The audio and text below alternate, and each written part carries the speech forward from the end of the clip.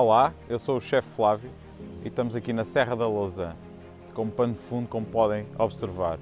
Vamos ter os próximos fins de semana, os fins de semana do cabrito e vamos mostrar a nossa receita e a nossa base, como podemos produzir essa tão bela receita. E aqui temos o nosso, o nosso cabrito, uh, tão típico aqui na beira interior, neste caso na Serra da Lousã, onde vamos confeccioná-lo com os ingredientes tão, tão nobres quanto ele, o cabrito. Vamos usar um bom azeite, um vinho nobre, branco, o sal, a pimenta, o louro e o alho.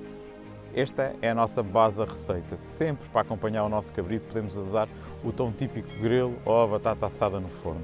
Nós, na nossa receita, hoje aqui, preparamos uma batata assada com pele e ao mesmo tempo o nosso espinafre fresco.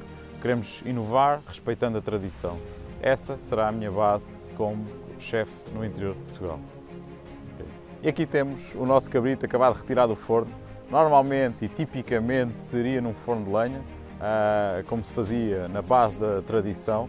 Hoje inovamos, usamos o nosso cabrito num forno convencional em casa, onde assamos a uma temperatura moderada durante um período de 45 minutos e onde usamos para guarnecer a nossa batata, podíamos usar os nossos grelos, a nossa couve, usamos um espinafre, por isso convido-vos todos a virem visitar a Serra da Lousã, este território tão belo e onde há tantas iguarias com tanta tradição.